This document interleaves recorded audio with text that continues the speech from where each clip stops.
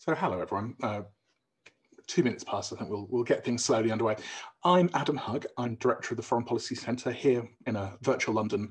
Uh, um, and we're obviously live uh, with people from around uh, not only uh, Tajikistan and Central Asia, but across to uh, across Europe and, and, the United States as well today.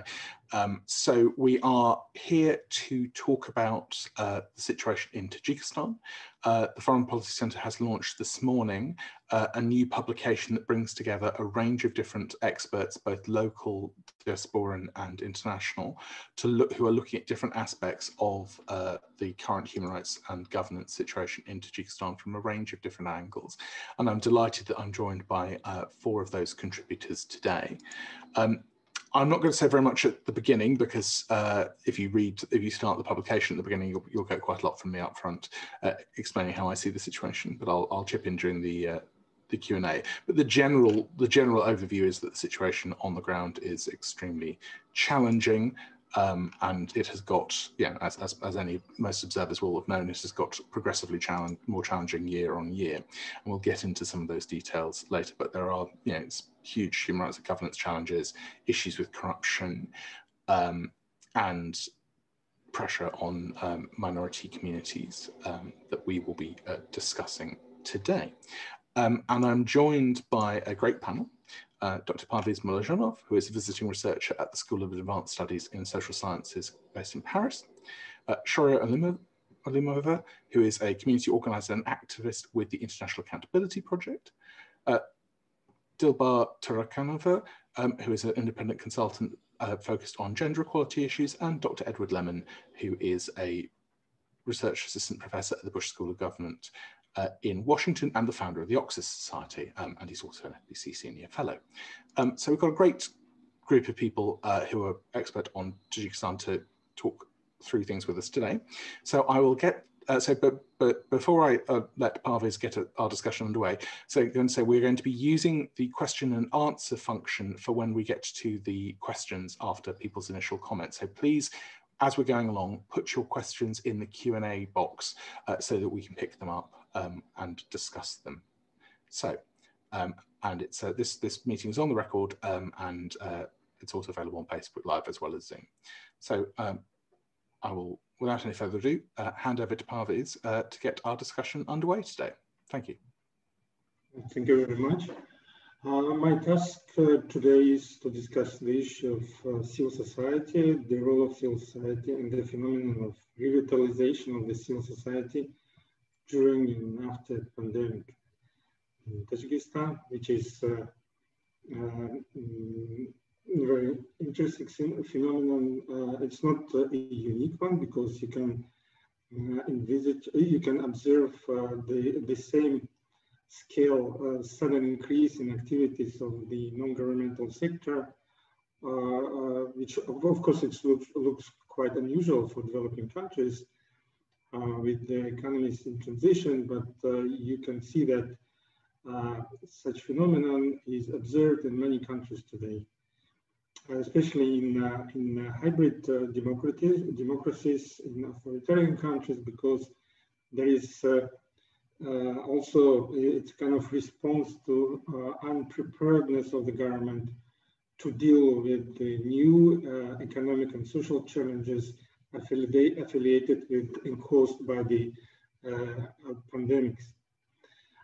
Uh, this uh, phenomenon, is, uh, phenomenon, is, observed in many other post-Soviet countries, uh, uh, such as Belarus, where the government government denial policy also led to revitalization of the civil society and eventually led the country to large-scale anti-government uprising. Uh, in Tajikistan, this phenomenon has its own specifics. Uh, of course, uh, uh, uh, this phenomenon is also caused by the denial policy undertaken by the government. The reason of this denial policy uh, is, first of all, because the country, the government wanted to build some sort of herd, collective immunity or herd immunity uh, following the Swedish example, uh, the difference between the Swedish model and Tajik model was mainly in the implementation style. Uh, the Swedish model envisaged uh, a wider involvement of publics, uh, wider dissemination of information, sharing the pluses and minuses, discussion, public discussion, deliberation, which wasn't the case in the Tajik case. Uh, in, the, in Tajikistan, the approach was uh, different. The implementation was uh, following the style, uh, the, managed, uh, the, the, Soviet uh, management style, which created serious problems and challenges for the government. And the main challenge was the both mentioned civil society revitalization, which uh, occurred in three main stages. So the first stage was uh, informational campaign in social networks undertaken by the uh, variant, uh, various actors ranging from individuals, individual bloggers, uh, civic organizations, just uh, ordinary activists, individuals, uh, Mm-hmm. Uh, just to fill the gap uh, in, the vacuum in informational flow uh, in, the country because uh, the government was covering uh, the data for almost three months. Um, the government refused, steadily refused the existence of COVID-19 in the country. It refused, it refused any cases of uh, uh, infection in in, uh, in, various regions of the country, and of course, it because it was actually contradicting to the what people were seeing. Therefore, it caused a wider response from the civil society. And civil society started to uh, its activities, its information campaign, covering the gap, uh, uh, presenting and offering uh, new data, alternative data to society, organizing, monitoring the situation, creation new social um, websites, new social networks, various pages the internet just to cover these uh, mistakes of the government. The, uh, the, uh, the next stage was uh, practical activities, meaning the creation of the volunteer groups, uh, uh, mainly also in social networks, but also inside the country. And these uh, volunteer groups were engaged in collecting humanitarian aid, donations, medicine, food, different kind of equipment, uh, and offering them to various uh, uh, socially vulnerable groups of people, to poor people, to people infected, to um, hospitals, to physicians, etc., etc. What is uh, uh, the new phenomenon also uh, an important aspect is that uh, it uh, involved a number of new actors which now have been active in social and political activities. Uh, of all, migrant stations, various diasporas, which played a special role in those activities. They organized large-scale fundraising, humanitarian assistance. They launched a program of uh, helping uh, migrant families, uh, helping migrants inside Russia, helping their families uh, in, uh, inside the country. So this uh, new groups covered also involved a number of newcomers ranging from students, workers, migrant groups, who never been involved in such activities as I mentioned. So it was also a very important phenomenon for the country.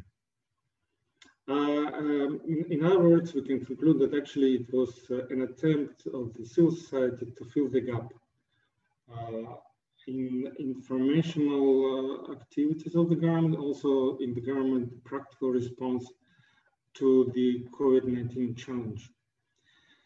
Uh, how the government responded uh, uh, to this new phenomenon? first, the government has launched a, a counter-narrative information campaign uh, which includes several aspects. first of all, they tried to diminish the, diminish the achievements of official of uh, um, volunteer movements. Uh, the uh, official media also launched uh, a wide campaign, informational campaign to popularize uh, the activities of the government, various governmental institutions, also to popularize the humanitarian aid allegedly uh, rendered by different kind of uh, uh, official organizations in the country. Uh, another uh, aspect was uh, to put pressure on the most critically minded uh, commentators and media resources. And the most bright, the brightest example of this pressure is Radio Azadi, which in April to, uh, uh, 2020 reached an international level because um, there was a series of letters signed by several senators, U.S. Uh, uh, senators criticizing the government approach and the government um, pressure on Radio Azadi, uh, Radio Liberty. And there was also uh, a special decree issued by the government uh, ensuring the uh, declaring the responsibility for the disseminating uh, unconfirmed information and provoking panicking uh, among the country. We, and uh, this uh, decree was used also as a pretext um, and background to undertake such pressure against different kind of activists within social networks. Uh, in order to prevent politicization of uh, the volunteer movement, the Tajik law enforcement uh, and security bodies uh, have enhanced their activities abroad to neutralize the political opposition uh, that took refuge in several EU countries. Also, they uh, undertaken uh, serious efforts to due uh, to, to reduce the activities of volunteer groups in uh, Moscow and other uh, diasporas abroad. Uh, the government was really concerned by this new phenomenon and the government was afraid of its uh, further politicization. Uh, what was the outcome of this uh, phenomenon, what we observe today.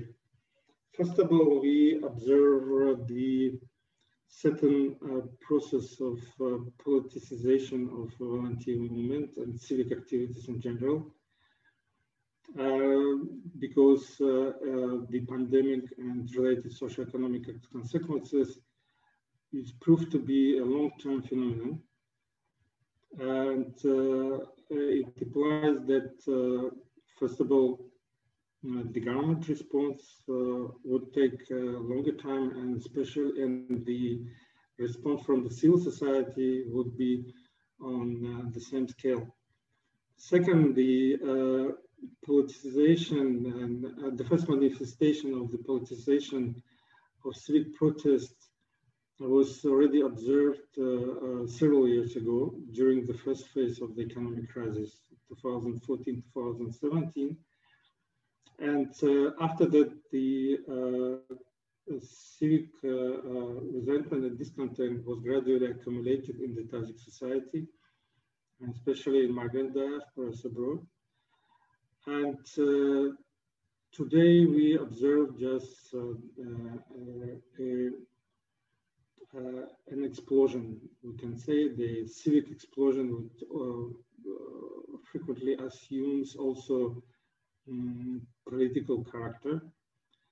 Uh, this uh, um, uh, public discontent uh, was unleashed recently after the arrest of uh, and deportation of Izzat Amon, one of the uh, leading civic activist in Moscow, head of the Center for Tajiks in Moscow.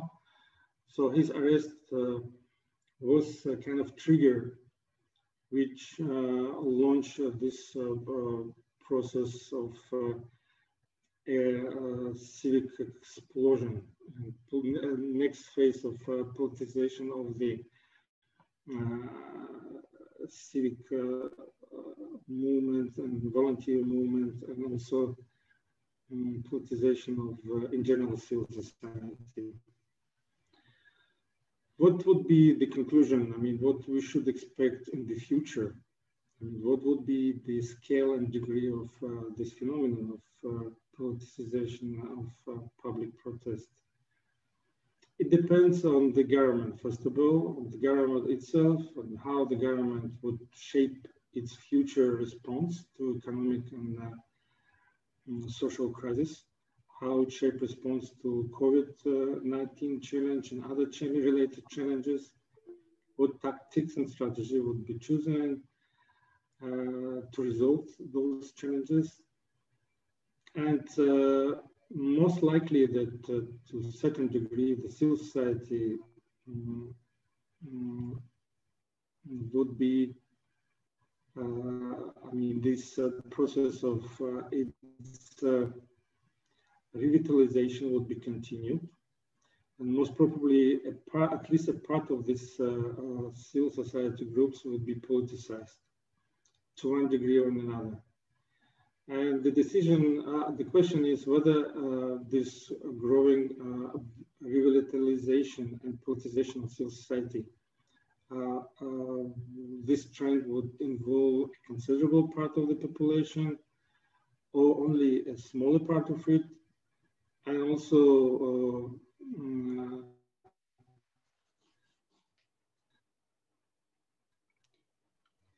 for how long this, uh, uh, I mean, what would be the scale of the government response?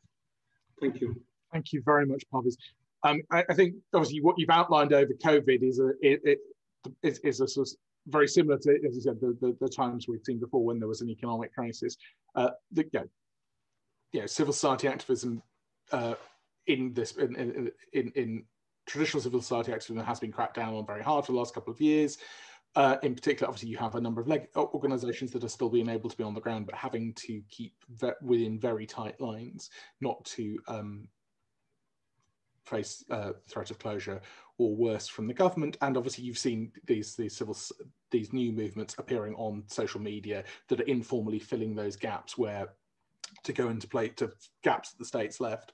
Um, and if you want to see some of the other stuff on, on, on the COVID response, do look at Sebastian Peyrouse's uh, essay in our collection on that. But also, but then once those gaps have been identified, it's the question of how far and how so how how far civil society is willing to go, given the risks of repression that have been made very, very clear over the last couple of years, um, whether you're in Tajikistan or, as you say, in the diaspora, um, who have, uh, have, not been safe from targeting. Um, okay, so lots of really interesting things that I'm sure we'll get into more in the Q&A section.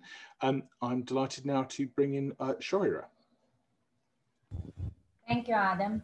Hi, everyone. Um, I would like to ask then uh, Foreign Policy Center representatives to share my presentation. I'm Shoira Olimova, and I represent International Accountability Project, uh, which is the international human and environmental rights organization uh, that works with uh, civil societies, communities, and social movements to change how today's development is done. Uh, first of all, I would like to thank uh, Foreign Policy Center for making a great job uh, for creation this uh, masterpiece, uh, Tajikistan Spotlight, and collect all the materials, all the ideas and issues around the Tajikistan, starting from political issues and ending with the human rights and some specific sector issues. And which is good. I just open the send link and look through all of them, it's perfect. And um, I think it's uh, indeed uh, in time was done the document which uh, con which consists of all the relevant and important issues around the Tajikistan. Well, um, my paper, um, my essay for this Tajikistan spotlight is called "The Broken Promises of Development in Tajikistan," and uh, the main uh, the main context of the next slide, please, Pop. And the context of them, uh, this paper is uh, based on the state of development in Tajikistan's overall overview and the cycle of corruption and poorly designed project information. Also, some glance on the at the absence of transparency and access to information. Of course, COVID-19 relief and projects as an actual program and relevant for now, and prioritizing people-centered development rather than other investment. This is some kind of context. Uh, we all know, uh, next, next slide, please. We all know about um, Tajikistan situation, and we know that it's one of the least developed countries among Central Asia and ex-Soviet Union countries. But nevertheless, uh, it's really uh, favorable for foreign investors, including those from China, Russia, Kazakhstan, United Kingdom, United States. Even if you notice, for now, China has replaced Russia as the largest investor, and uh, we are considered to be one of the uh, Belt and Road Initiative projects. Uh, here is some examples uh, regarding of um, China's investment and that 80% uh, of gold fields all operated by Chinese companies right now in Tajikistan. And uh, just for your information, next slide, please. Just for your information, our organization, uh, International Accountability Project, um, deals with monitoring all the investment around the world, including Tajikistan uh, as a developing country. And um, according to our statistics, uh, out of 15 uh, developed finance institutions whom we are making monitoring, whom we are checking, and we have a uh, project tableaus with a project tracking. Um, for Tajikistan, six uh, development finance institutions are investing right now, starting from ADB, World Bank, EBRD, AIB, DFS, and IFIS. And you can see from this uh, table, uh, just for overall information, this is data from 1st January to 3rd June uh, of previous year. Uh, right now, Uzbekistan, among all the Central Asian countries, considered to be dominated in terms of getting more investment investment by development finance institutions. You see, it's 94 projects for uh, seven seven billion uh, more than 7 billion. And Tajikistan um, uh, have got 50, 54 for 1 billion, more than 1 billion. And next slide, please. Um, from, uh, from August 1st, 2019 to February 2021, in Tajikistan, it was implemented, it was invested 41 projects for more than 1 billion, according to our uh, system tracking, which is called uh, early warning system. This is one of the main program of our organization, which deals with um, database collection of all the investment projects in all the over the world. Also, we are dealing with uh, uh, civil society organization for exchanging the tools, information, and uh, how to deal with the development in the current situation. Next, please. As I mentioned before, um, uh, among uh, all the development finance institutions right now in Tajikistan, mostly investors considered to be World Bank, ADB, uh, EBRD, AIB, uh, DFS, and IFIS. And the main financing by sectors you can see from the tableau is energy sector, transport, water and sanitation, law in government, finance, health issues, and etc. However, as you see from the uh, tableau, the main sector for investment is considered to be energy and transport sector. Uh, here is, um, I think I share through the, just a minute, I will share through the chat. You can see and open, this is uh, our project tracking tableau. You can see all the investment around the world, including Tajikistan, just going by the map and clicking to needed requested country and you can see all the information around the investment projects uh, last information for this year. And we are updating this tableau for each three months. Uh, if you need more information there are at the below you can see project list information and by clicking to that page you, you can go and see uh, some general information about uh, requested projects well uh, next uh, next one well, as I mentioned before, Uh, the main sector for now is considered to be uh, energy and transport sector. Everybody knows about the energy situation in Tajikistan, right? For almost 30 years after independence, Tajikistan has been struggling, still struggling with uh, to achieve energy security, particularly in the winter period. Even this year, despite the COVID situation, uh, we have a lot of limits, uh, especially in outside in villages. It was huge, uh, very, very cold winter for this year. However, um, we still have a, facing a lot of uh, challenges with energy problems.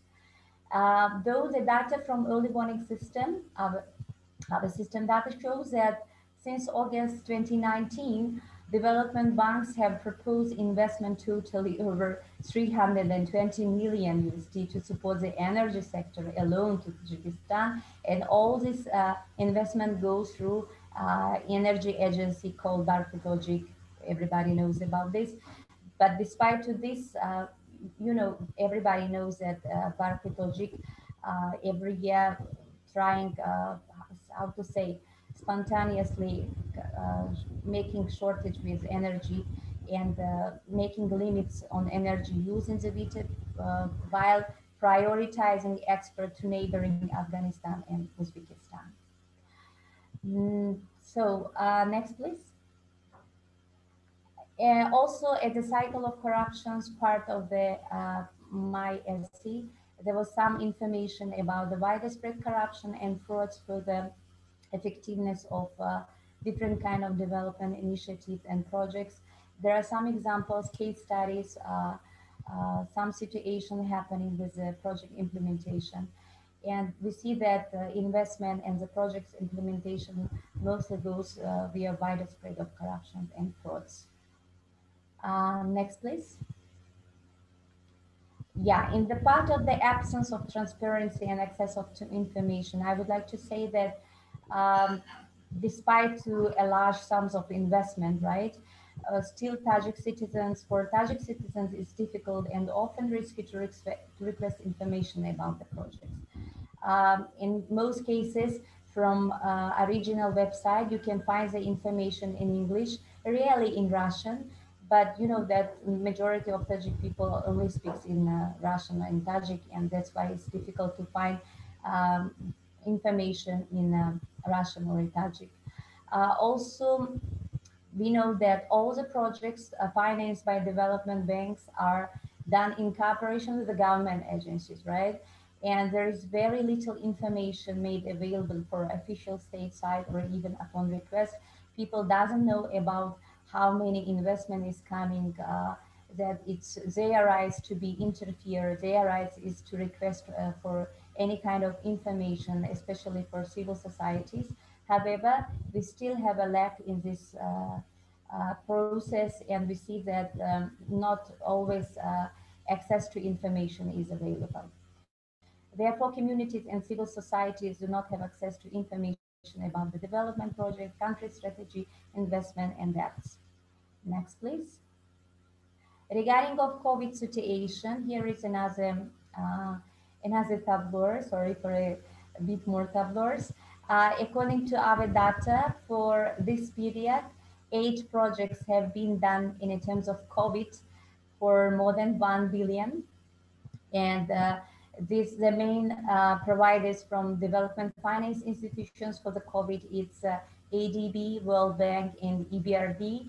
And you see the sector, it comes, all the investment comes for health sector, for reform, reform of the government or some other agencies, transport and uh, finance, and then uh, a little bit for water and sanitation. Next, please. Yeah, uh, as I mentioned before, COVID-19 situation is also considered to be uh, one of the main projects, uh, uh, and the, a lot of investment comes from these projects related to the COVID. But despite to a lot of funds and resources, we see the real situation as Parviz Mullojanov also mentioned, most Tajik citizens are unable, unable to freely access much needed supplies like masks or thermometer, thermometers. Or uh, in the hospitals, the situation was very terrible during that situation. Uh, we cannot see uh, reliable or valid information about the number of infection people and number of dead people because uh, government uh, government figures the number infection and uh, casualties are very hard to trust without independent verification. And uh, but at the same time, we have seen at that period that some activists um, feeling that there is a lack of information uh, try to make some kind of uh, tracking uh, and uh, find uh, real information about the death infection on social media, but this initiative was promptly shut down. Next, please. Um, oh, by the way, I upload from my own experience that during that pandemic situation, it was exactly last year, uh, Tajikistan's TV, instead of providing information about the prophylactics, about the COVID situation around the world, and including Tajikistan situation, it was much more uh, programs devoted to um, uh, films, documentary films about the pre pre President Rahmon and his political achievements. During that period, we have much more broadcast. I, I have watched a lot of documentary movies about our history rather than COVID situation. And recently, uh, during the press conference uh, with Ministry of Health, it was announced that all infected people have been treated for free as a hospital. And uh, since December 2020, there haven't any been uh, any case of COVID-19 infected persons identified. And of course, this statement uh, starkly contradicts the experience of Tajik citizens who continue to deal with the fallout of this crisis. crisis. Next, please. Well, and then uh, SE ends with uh, some kind of recommendation around the investments. And uh, uh it seems like uh, instead of investing uh, to energy transfer in other sectors, it would be good also for development finance institution together with the government uh, to shift from investing uh, from these sectors to main and best uh, asset it's people. Because the capacity of the people needs for more development in order to deal with a lot of issues. And we still have a lack uh, in this uh, process. And uh, Tajik citizens have been unable to fully and freely participate in the decisions that will shape their homes, lives, and futures. As we see, all these projects is done in terms of uh, development, development for a nation. But as a reality, we see that in most cases, all these invest investments come uh, as a main benefit, I don't know, as a main profit for some specific people rather than other people. Therefore, um, after all, the experience of communities and civil societies worldwide have demonstrated that when projects are designed and led by the same people, if other people contribute in um, this kind of uh, project drafting, in this kind of project proposals, of course, uh, there will be a lot of uh, uh a lot of priorities and a lot of avoiding of uh, uh, this kind of corruptions and frauds, and much more given preference to rights to, of the people this is all I think I've done. Thank, thank you. Thank you so much, Shoira. Um, yeah, I mean, I think one of our recommendations, and I'll put the recommendations in the chat in a minute.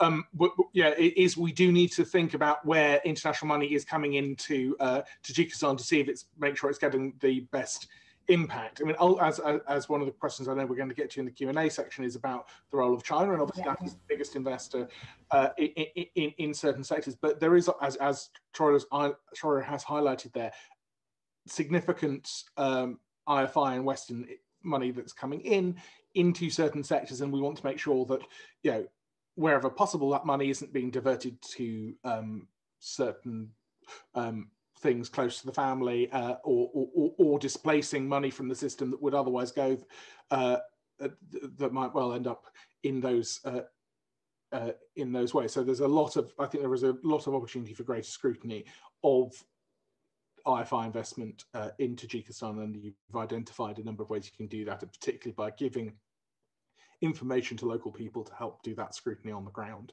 uh, wherever possible. So that's really, really important, and we'll come to that more in, in the Q&A. And on the Q&A, please do feel free to put your questions in the Q&A box now, and we will get to them as soon as uh, we finish with the initial comments. I'm delighted now to bring in uh, Dilbar. Thank you, Adam. Uh, can you hear me?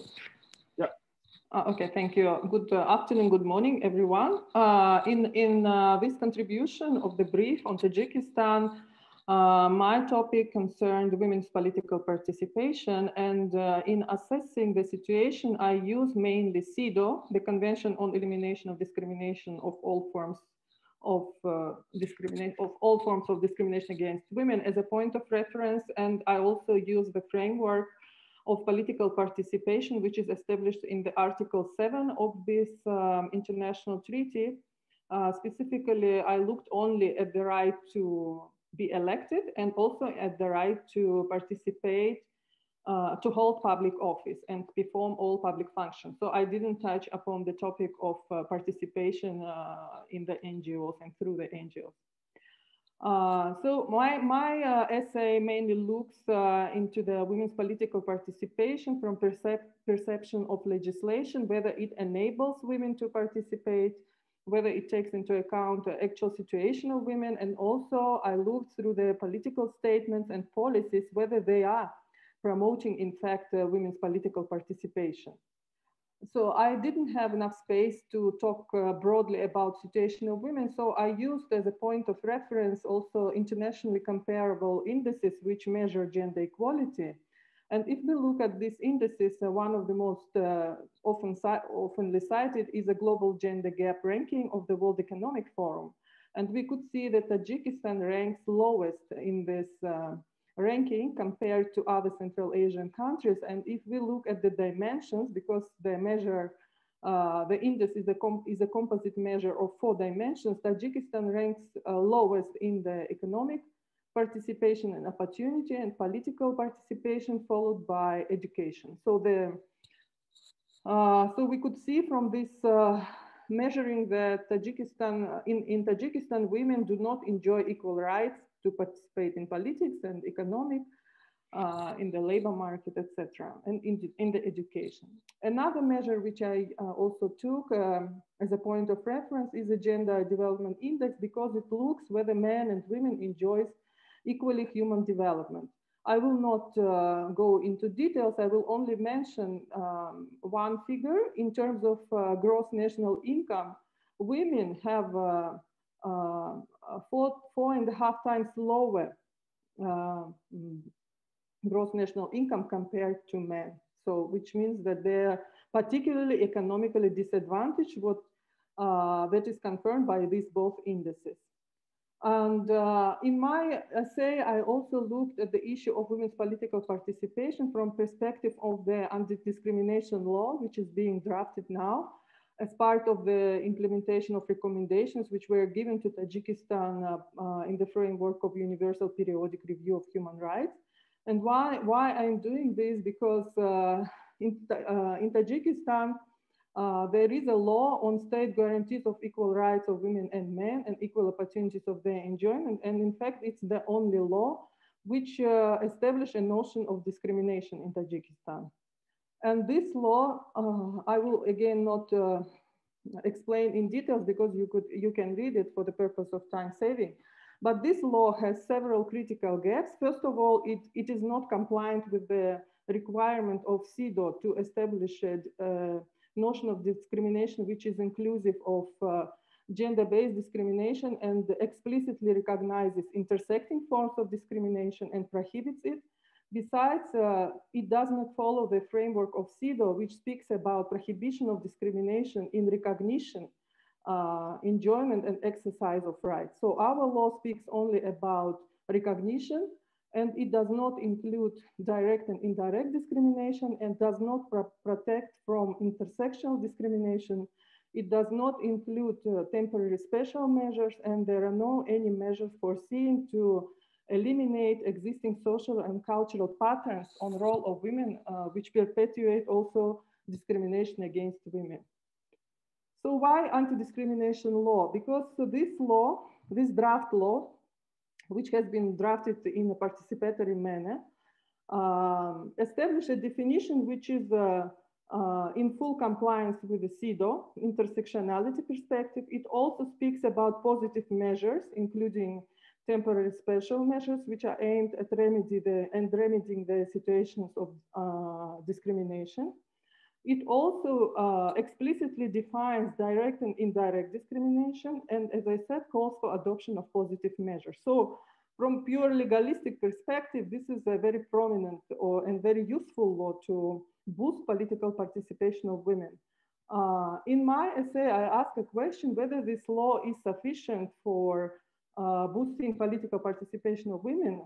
And uh, my answer is uh, no, because uh, political participation of women is a result of combination of factors.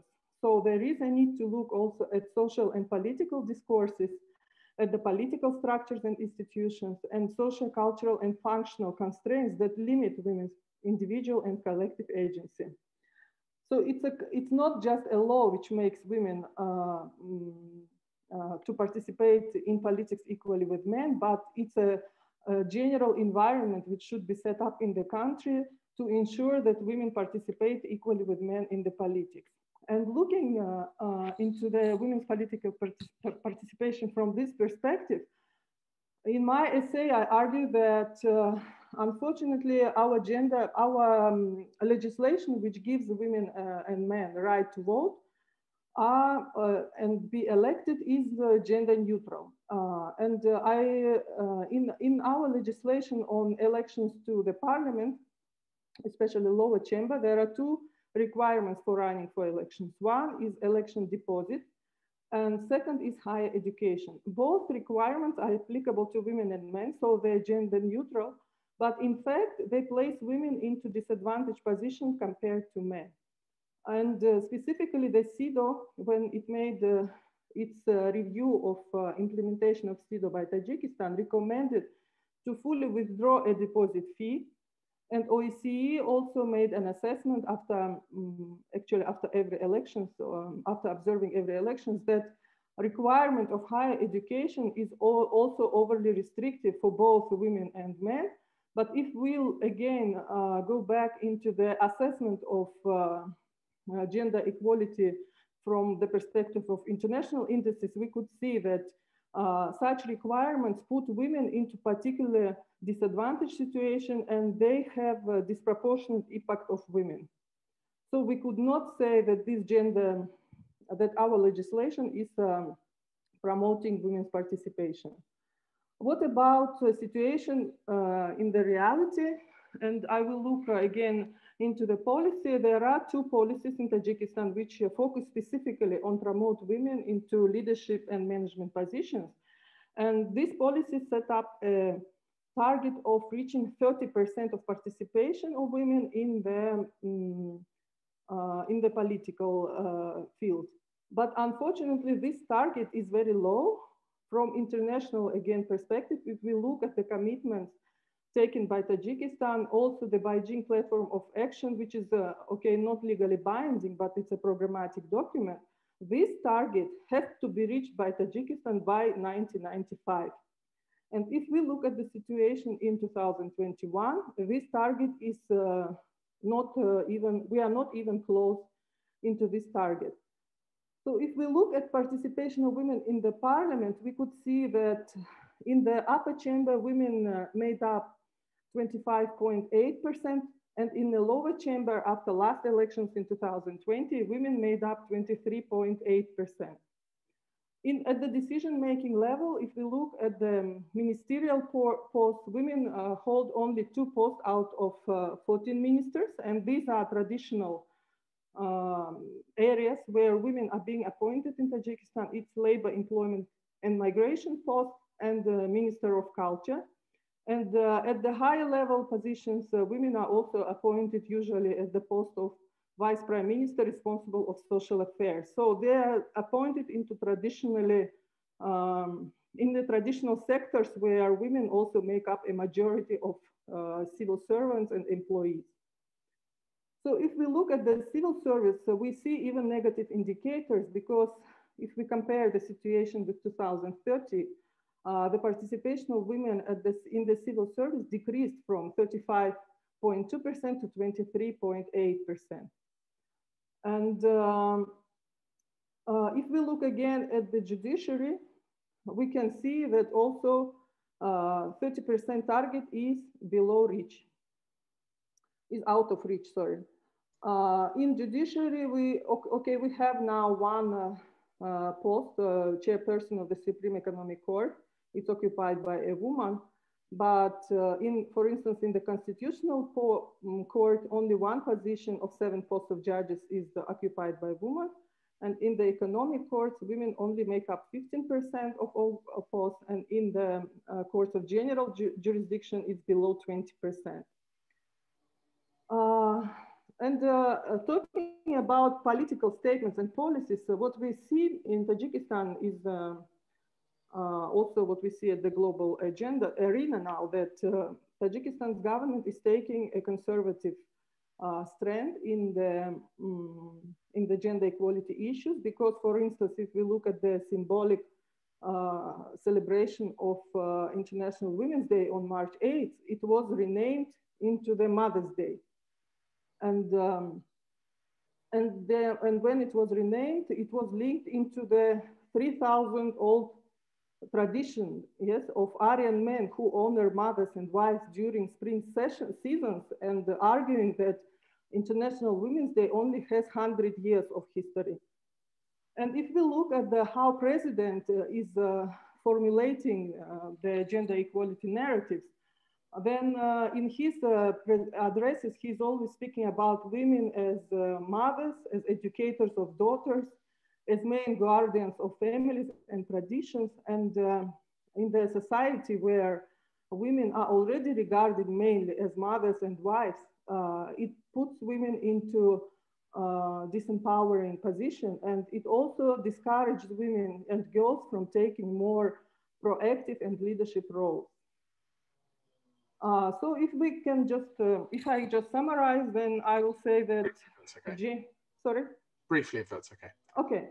Uh, so the general political landscape is not supporting any meaningful participation of women and approaches towards gender equality are contradictory. From one side, legislation speaks about equality, and from the other side, we see that statements are counter uh, mm, counter, uh, give counter narratives. And uh, some of the recommendations which we are proposed, of course, adoption of anti-discrimination law is absolutely required.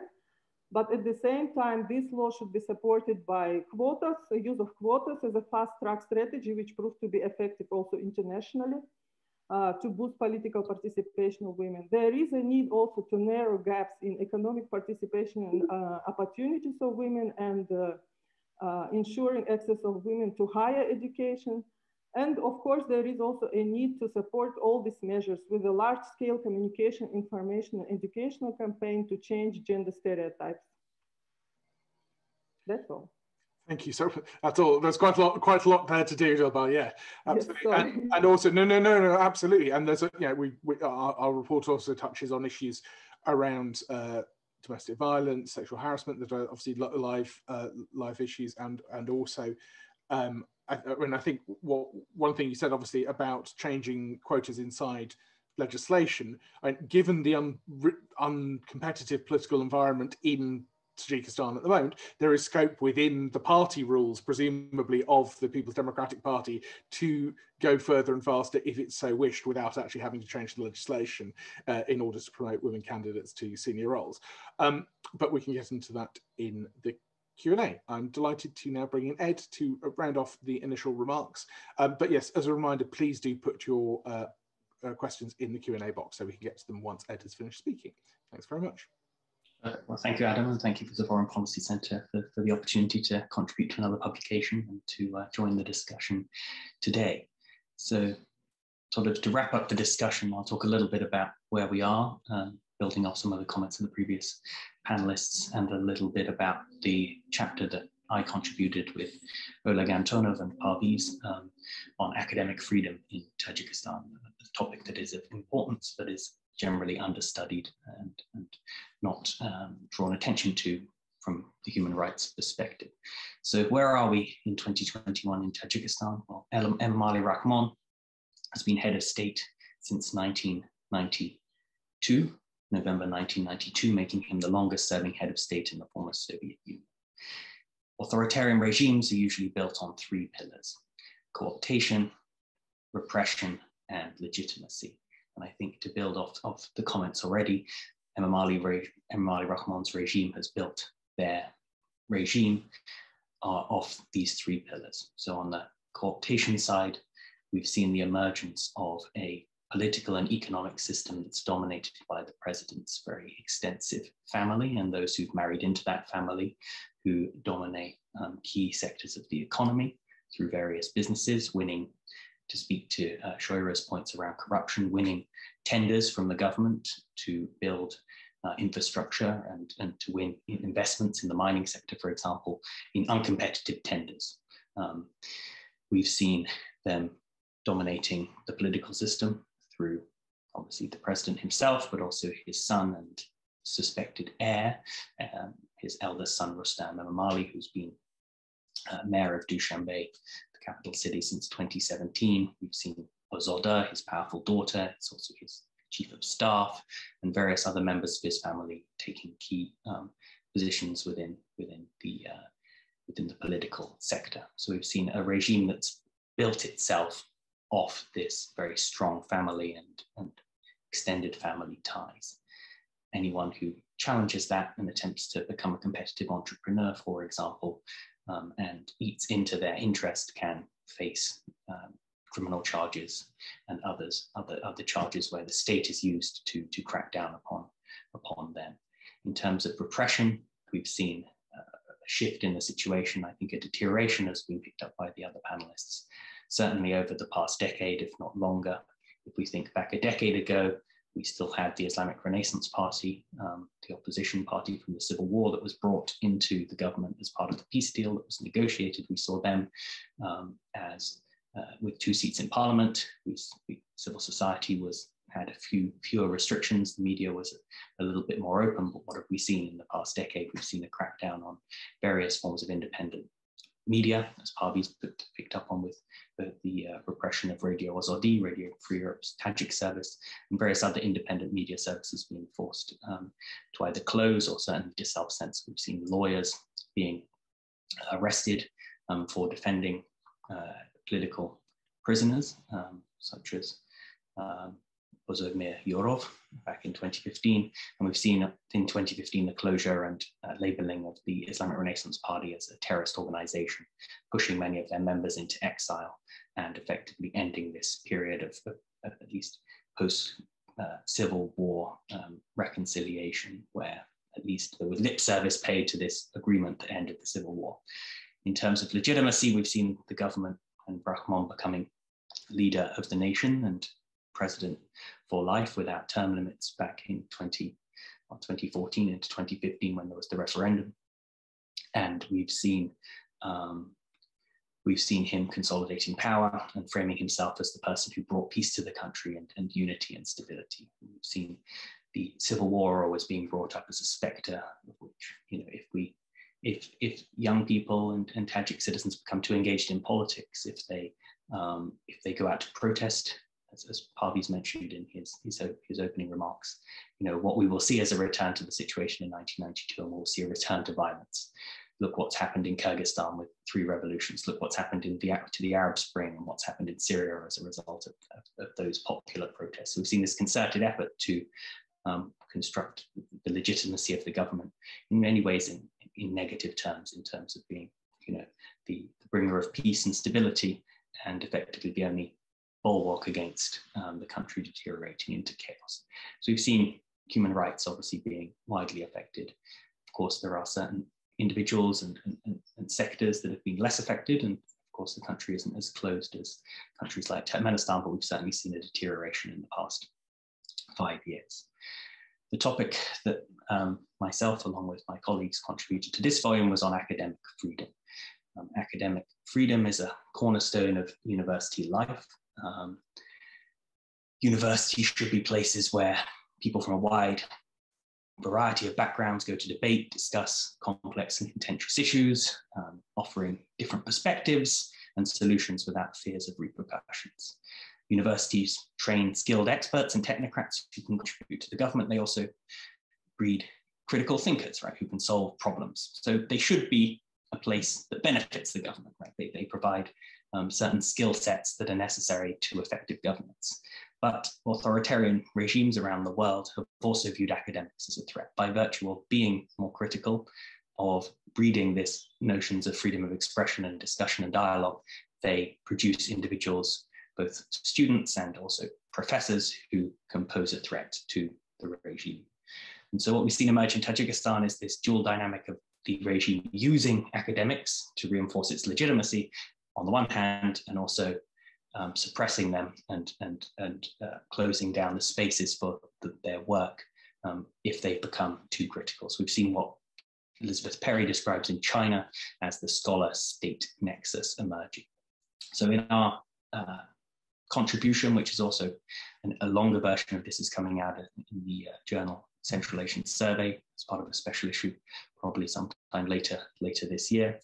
Um, we look at three different dynamics of this process. We look at suppression, which is perhaps the most obvious when we think of academic freedom. The most obvious case we think back to is the case of Alexander Sodiqov, PhD student from the University of Toronto, who was detained in June 2014 on espionage charges um, whilst working on a, a, a British-funded uh, research project on peace building in the country. We've seen, you know, a number of other other academics being arrested, individuals being denied permission um, or having restrictions on their mobility being able to go to international conferences or have international partnerships, particularly viewed as being problematic for the government and a potential threat to security. We've seen um, academics losing their job because they voiced too critical opinions or independent opinions. We've seen uh, independent universities in the country um, being closed down because they employed too many members of the opposition. And we've seen individuals, again, who independent and critical being forced into exile. So we see the gradual closure of the space for academics to operate freely. Of course, there are still individuals, as I said, and, and, and, and different disciplines that are less affected by this. And certainly there is still some degree of, of, of the, of, the ability to conduct research freely and express yourself freely, but certain topics, corruption, um, issues of Islamic extremism, um, governance, particularly by the president himself and top officials are no-go areas, not only for academics, of course, but also for journalists in many cases.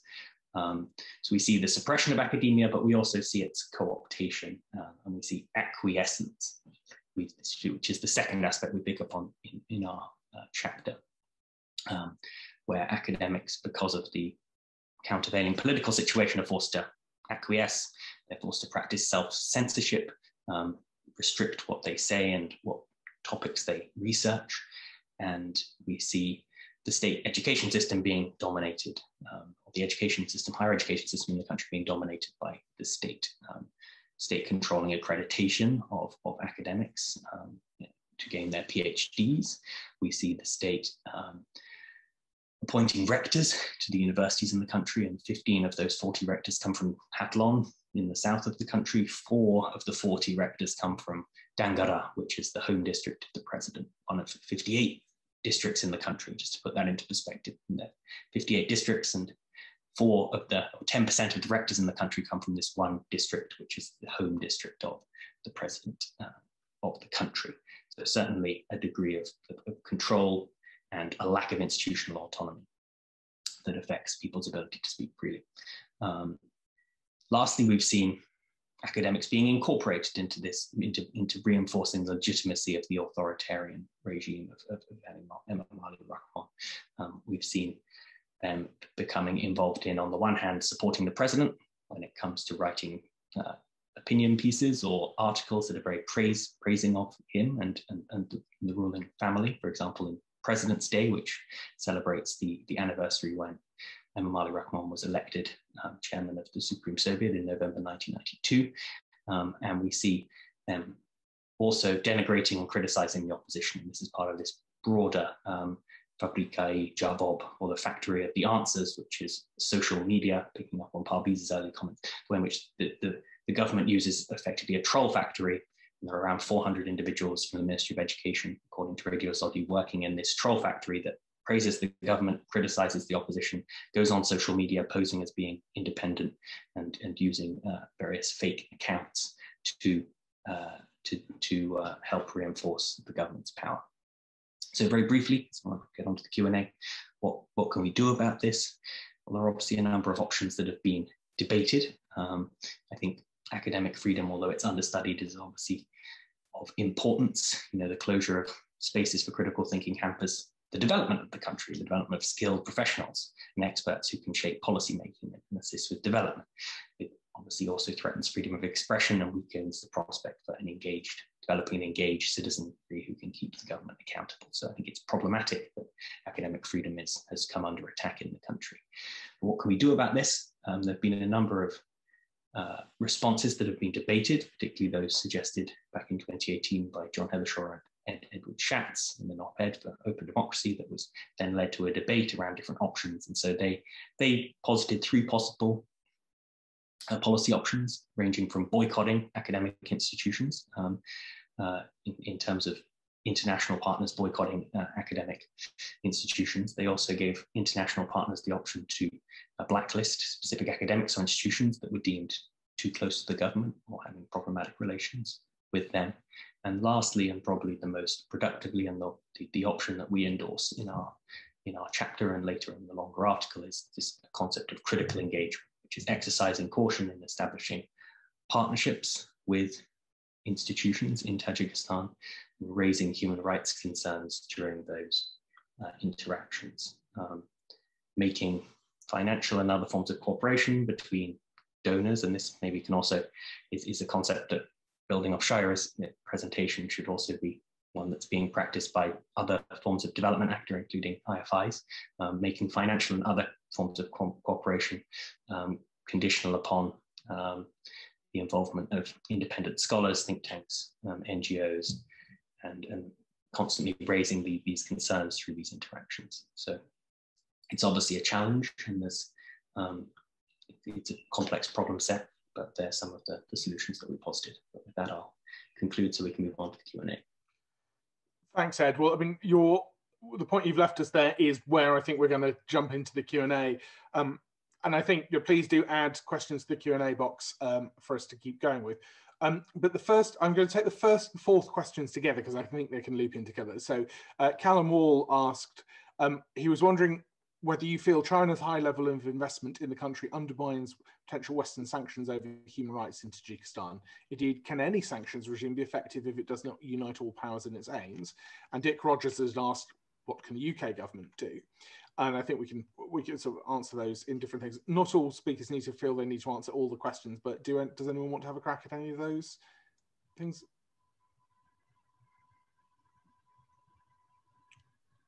Mean, I can take the, the sanctions. Yeah, okay. If, go, so if, you, if you carry on, and then then we'll bring in Parviz. I think what's going. Yeah. Okay.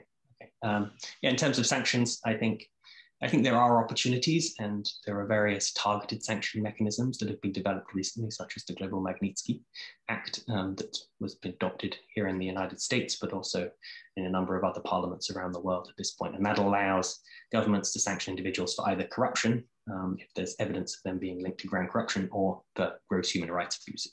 So I think there are various individuals within within the Tajik government who could be targeted, and I've been involved in some of the process of gathering evidence to, to various individuals who are, who are um, linked to both of those practices.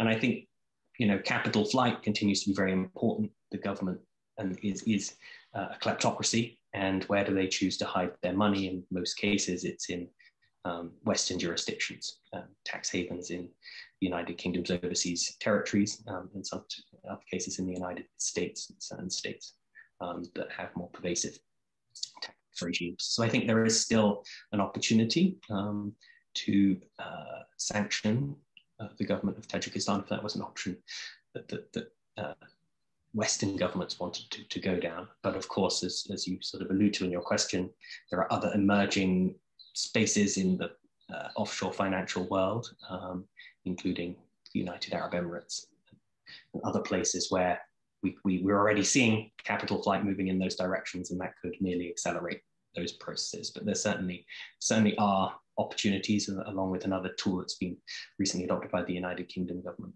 of uh, uh, targeted unexplained wealth orders, which allows you to um, uh, take property, um, seize property from uh, bank accounts for individuals who can't explain where that money came from. So I think there are various tools that we can use. Um, of course, their effectiveness is, is, is, is, is debated, um, but I think you know that that's that's that they're, they're still tools we should consider using like.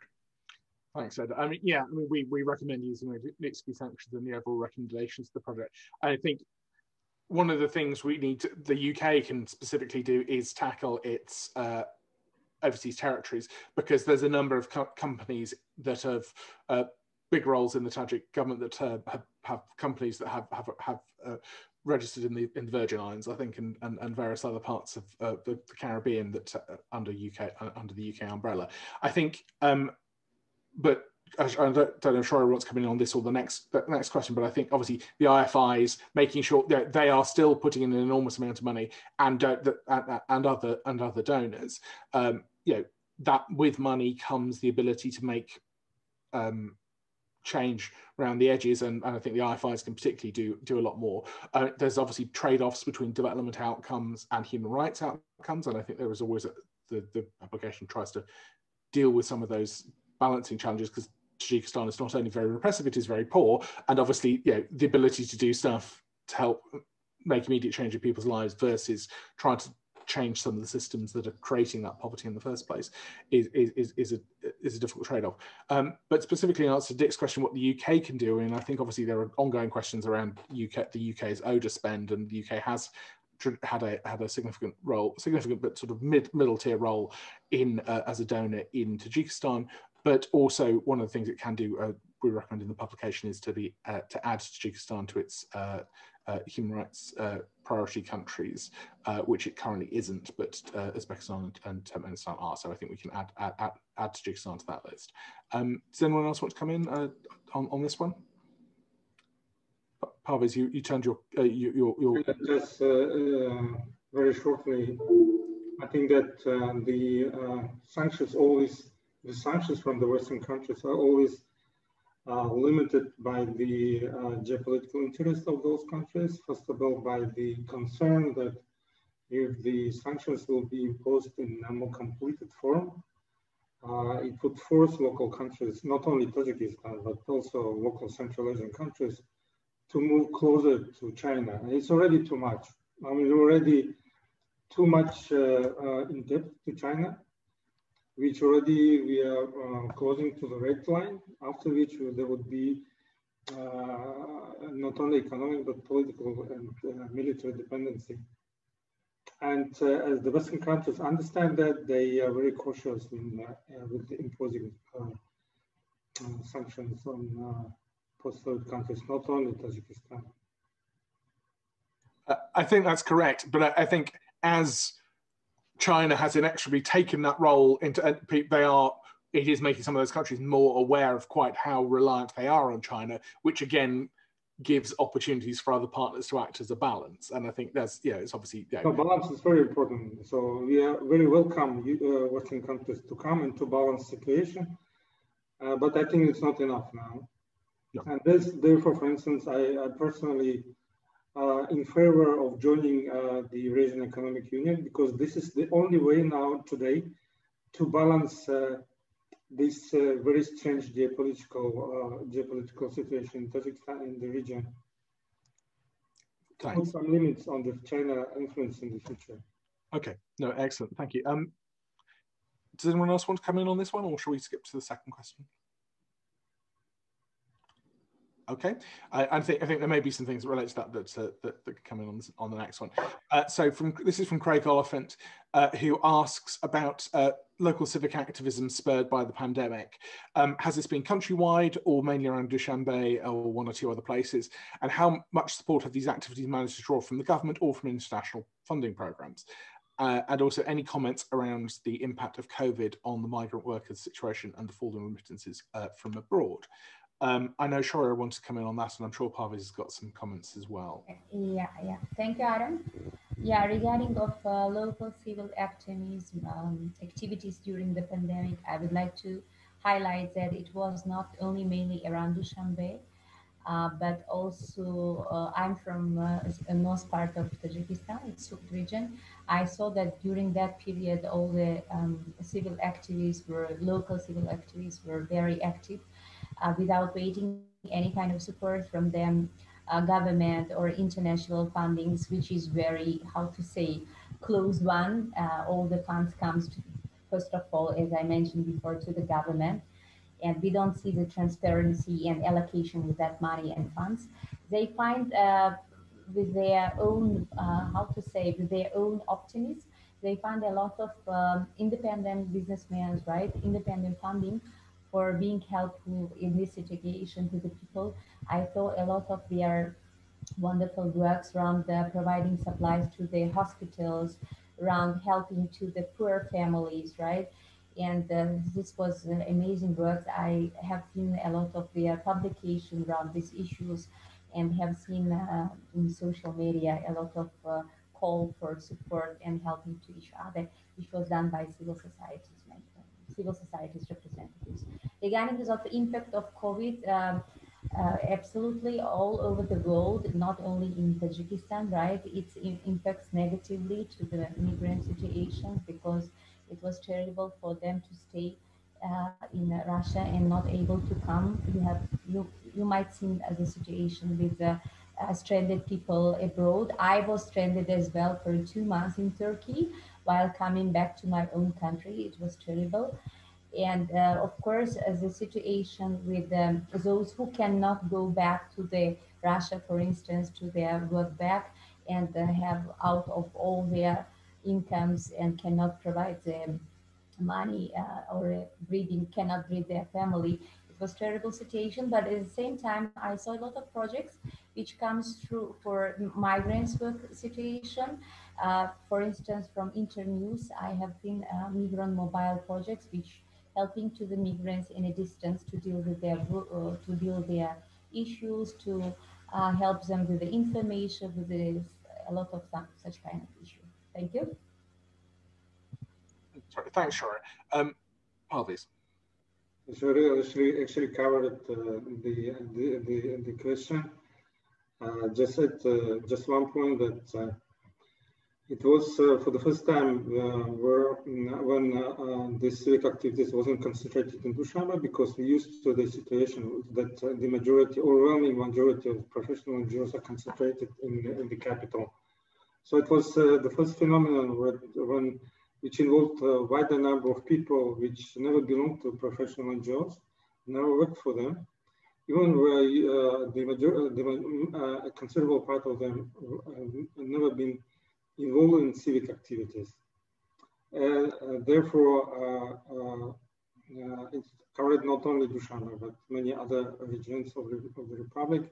Plus, another peculiarity is that it, uh, this activity was concentrated in the uh, social networks, uh, in the social media, in internet sector, Tajik segments of internet, uh, Uh, uh, that's why uh, this phenomenon had uh, and has a cross-border uh, character. So it's covering the entire diasporas, it's covering the entire society. That's why it's not manageable. I mean, it's not, nobody can manage it from inside and nobody can control it from outside. Excellent. Thanks, Parviz. Anyone else want to come in on this question? There was a question about the migrants. Yeah, just briefly also. Yeah. So, first of all, uh, there was a drop of economic activities in Russia, where the majority of uh, uh, Tajik migrants were engaged. The COVID came too uh, sudden. Uh, it was a sudden phenomenon. That's why many people just stuck in Russia, uh, unable to get job, unable unable to find to maintain jobs they had unable to find uh, new jobs, unable to pay for the uh, uh, lodging, unable to pay for the living, uh, uh, using uh, more and more the savings. So the, the overwhelming majority of migrants have found themselves a very difficult situation. So they were just in, didn't know, many of them didn't know what to do. Therefore, we saw that this phenomenon of self-organization of uh, this uh, diaspora, uh, which was one of the major factors of uh, uh, revitalizing, re revitalization of the civil society. Uh, plus, you should take into account that so 70% drop of economic activities mean, means the equal drop in the income. Also, equal, equal drops in uh, remittances, equal drops of uh, living standards of the population inside the country, their families, first of all. Uh, almost equal rise of prices inside the country. So it's a huge burden on not only migrants, but their families, the site in general, and also the government. Yeah, and, and I think one of the things last year, obviously the government got emergency funding to assist it during COVID, but uh, obviously you've talked about the impact on family finances for that. You know, if the Russian economy doesn't bounce back in such a way that allows all those migrants to go back, you're you're not just having the acute problem that you're having now. It's a question of how uh, so how many of those former migrant workers will be able to go back. And I think obviously if they're not all able to go back, it's going to be a, you know, a, an ongoing problem for the uh, for the Tajik government. Um, Dil, uh, uh, does anyone else want to come in on this one? Dilbar, have you got any uh, comments? Uh, yes, I just, uh, sorry, I just wanted to come in and say that we should look at the uh, labor migration also from uh, looking at the situation before the pandemic and also what happens now in terms of flows uh, the pandemic uh, gave uh, uh, Russia a new tool to control uh, the flows and also impose a pressure on the Tajik government to enter, I guess, into Eurasian Economic Union, as Dr. Mullojanov has already said, because now the flows are not just um, uh, prohibited by the or restricted because of lack of communication or restricted number of airlines, etc., but also by the new regime which is imposed on Tajikistan by Russian government. Now they want to uh, have an organized uh, recruitment of migrants starting from Tajikistan. So they are opening new centers in Tajikistan where migrants first will be assessed whether they're eligible, whether they can work, in Russia, etc., and only then they will be sent there. So it's a general move into reduction of flows, which started already before the pandemic. The same was with the remittances. So it's the, the, uh, the drop in remittances was before the pandemic. And actually now I've seen yesterday the new assessment or estimation of the World Bank, which says that there was not as such a considerable drop in remittances as they have expected. It was just 1.9%. And according to Russian researchers who did uh, uh, an assessment of impact of COVID on uh, local population, on Russian nationals uh, or Russian population and migrants, they concluded that migrants were in better situation when we speak about employment because there was an increase uh, or increase of demand for their services. So they started to earn more and they started to send more home. And uh, for instance, the World Bank estimated that uh, through their listening to Tajikistan service that there were there was a short period when uh, migrant families indeed has uh, suffered from uh, drop of remittances, but then it, it, it changed quickly. And they, it, also the poverty levels did not uh, uh, increase as much as World Bank has expected. Uh, and again, uh, if we speak about uh, situation of migrant workers from human rights perspective, we have came into conclusion as human rights people that government has uh, not been able to deal with this crisis and provide adequate consular services even and uh, repatriation, um, um, how to say, measures, right? But at the same time, if we speak about people who were in the detention centers, in the temporary detention centers, uh, who were already um, uh, prepared for deportation, but were not able to do this, then the first steps which government did, it's not to praise, but it's just to say that uh, it was really to repatriate these people. Also, again, they were pushed by Russia because they didn't want to keep them there and give them medicine, etc. But if we look uh, in general, that majority of assistance which has been provided was through diaspora, was through human rights organizations in Russia, but not uh, with the cooperation with consular agents, consular services, of course, but not really by the government of Tajikistan. And um, uh, it was, and now uh, if I can just uh, connect with the situation uh, at the Kyrgyz-Tajik border, we see that again, migrants became one of the most vulnerable. And again, the uh, service consular protection is almost not available for them. No, you're, you're absolutely right. There was, a, yeah, around the violence that uh, happened at the end of, end of last month, you've seen, you know, competitive expulsions on both sides of people who were, um, you know, studying at universities and uh, yeah, in in more in more vulnerable um, positions there. Uh, Ed, do you want to come in on on on that point at all, or? I think it's been covered by everyone else. Excellent.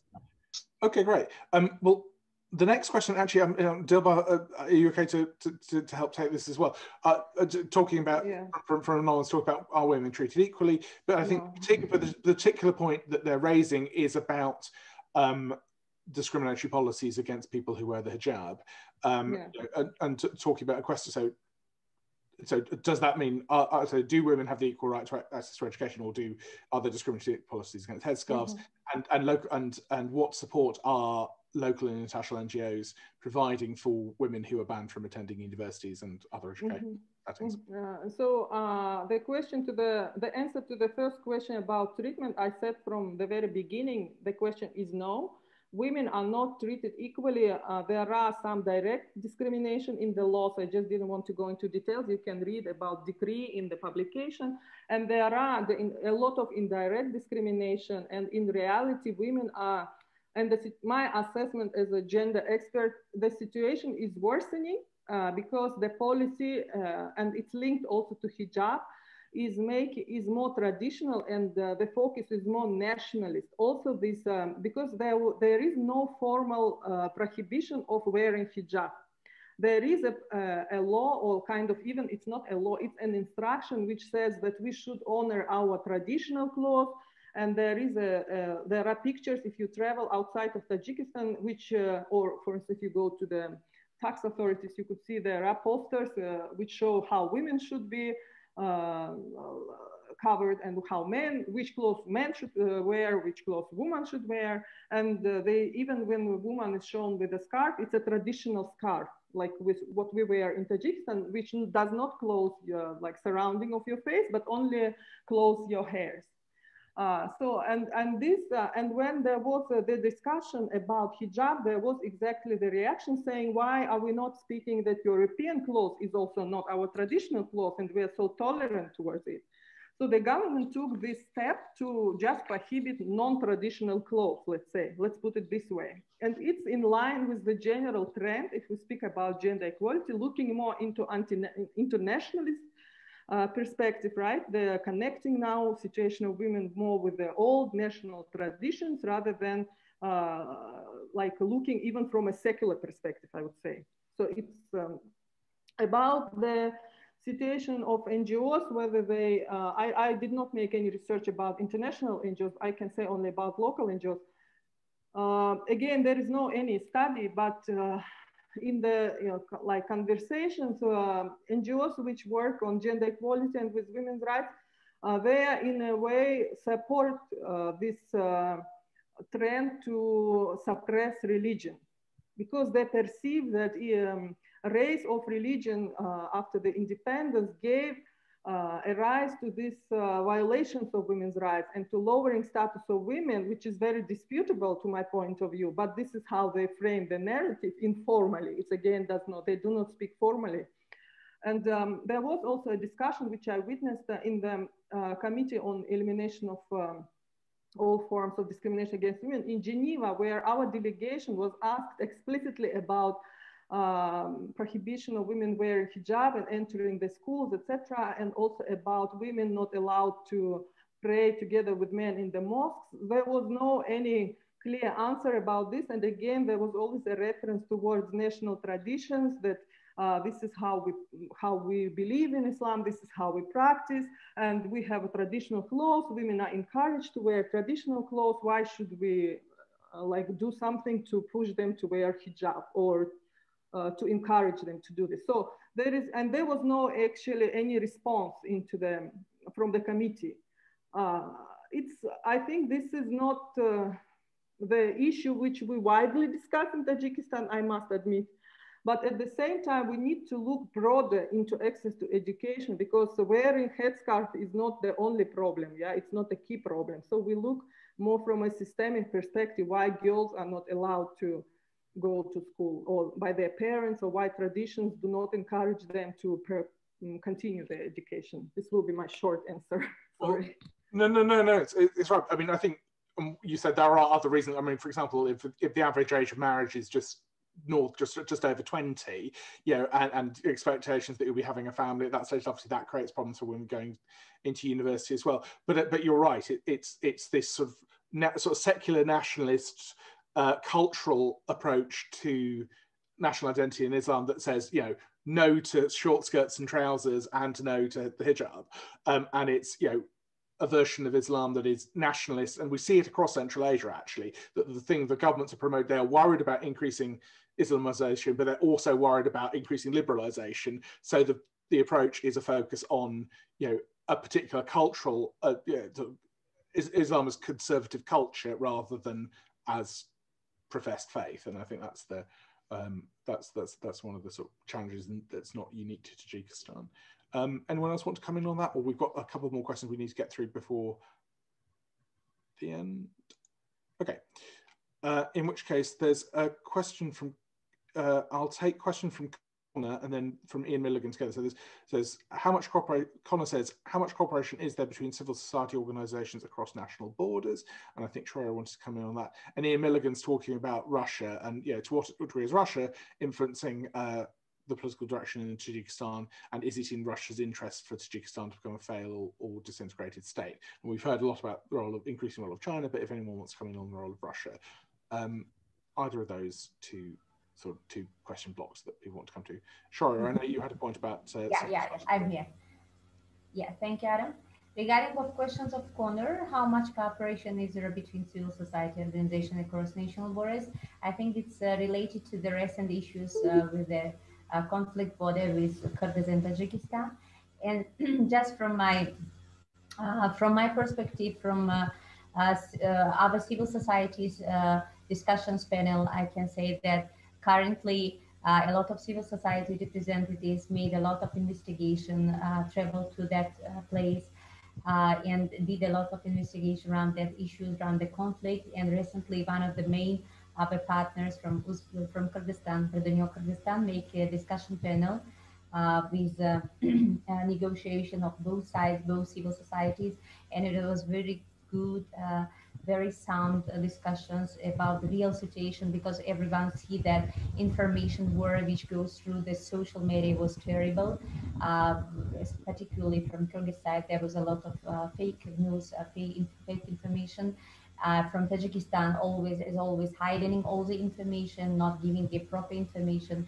Uh, besides of some some good mass media providing information. And therefore, I think uh, right now civil society is making a lot of contribution while helping to that uh, families who lost their uh, family members or who uh, face the damages and birth and etc. They trying to uh, help with a lot of uh, some kind of aid support, right?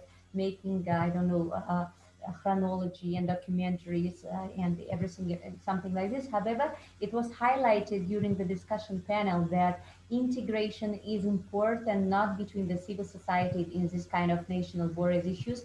It should be integration between the government and civil societies in order to resolve these issues. But as it was mentioned by other experts, still the government uh, not too much pay attention to uh, this conflict as it should be uh, in, our, in a case of Tajikistan government. I thank you. Thank you, uh. Uh, anyone else want to come in on either of those two points?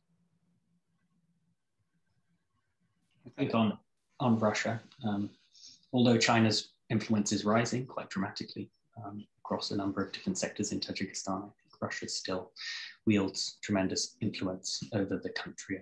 Economically, it's still the largest um, largest, uh, at one point was the largest investor, I think now being overtaken by China, but certainly remittances make up a third of, of the economy. Um, in security terms, Russia still stations around 7,000 troops in Tajikistan, its largest base outside of, of the country with the exception of Syria, um, and it provides over 90% of the weapons to Tajikistan's army, along with various training, military exercises, um, and other, other forms of defense diplomacy.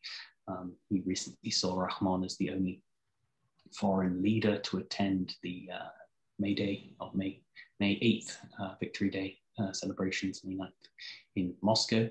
Um, and so, you know, that was that was viewed as, as a sign of continued continued dialogue, particularly that coming after the recent border conflict with, with Kyrgyzstan. So I think Russia continues to have various levers of influence. I think there's this ongoing discussion over whether Tajikistan would join the Eurasian Economic Union. Um, I think there's still the Tajik side still waiting for certain concessions from Moscow um, before, before it accedes.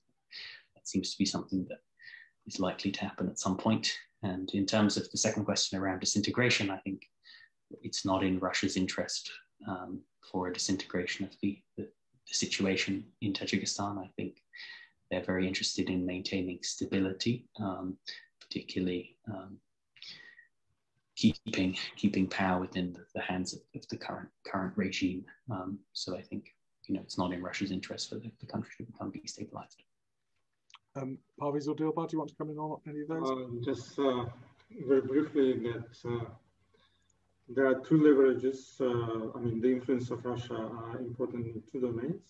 Uh, essential, first of all, because of migration, and, second, in security sector. Uh, in a, so, um, in terms of economic influence, this is mainly because of migration the dependency on Tajikistan and of Tajikistan on migration. And uh, as to lead to this uh, security sector, it's going to be in, uh, increased, uh, this dependency, because after this conflict with Kyrgyzstan, we all uh, envisage uh, and expect an arm race in, in the region, especially between Kyrgyzstan and Tajikistan.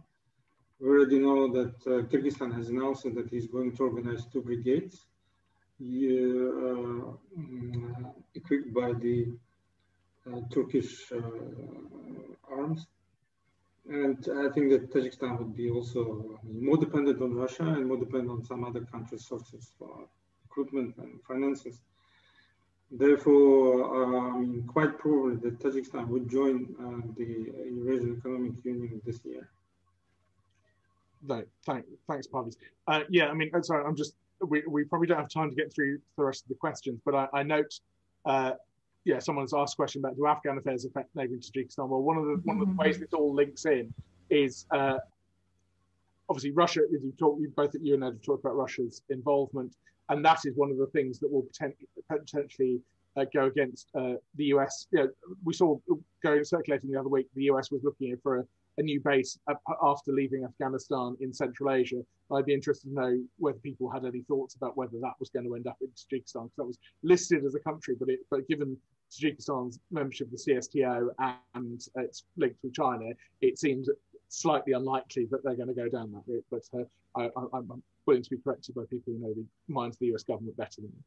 Um, but, uh, but yeah, so that was that was hopefully a brief answer to Dick Rogers' question, which is uh, yes, Tajikistan, uh, Afghan affairs do very much affect uh, uh, situation in Tajikistan, and there's some stuff on that in the, in the publication, both around of the cross-border linkages during the civil war and uh, the situation, you know, with um, the drugs trade and various other things that have come through and issues of radicalization. So yes, there's a, a lot of stuff that's in the publication about that. Um, I don't think we have time for any more questions because we're probably going to uh, wrap up today. Uh, so to let people know, obviously, please, if you haven't already done so, download the uh, and read the um, publications on our website. Uh, the FPC will be holding a related event uh, jointly with CABAR Central Asia uh, on the 25th, uh, similar time uh, to today, where we're looking at issues around housing and urban development in in Central Asia, where Xenia Moronova, who is one of the authors in this essay collection, will be presenting her findings that come out of this publication, as well as some other work. Um, and we will, yeah, so please do, if you already haven't done so, uh, sign up to FPC's um, uh, email list so you can get um, information about that event and other events that we will have coming up. And thank you so much for sticking with us. And thank you so much to our panel, both for speaking today and for contributing. Hi, Shoira. Good to, good to finally see you on screen. finally. well, thanks so much because, again. Because it's AM. Yeah, lovely. Well, yeah. take care. And uh, thanks Thank for joining us. Take care. Bye-bye. Okay. Yeah, yeah, yeah. Thank you. Thank you. Bye.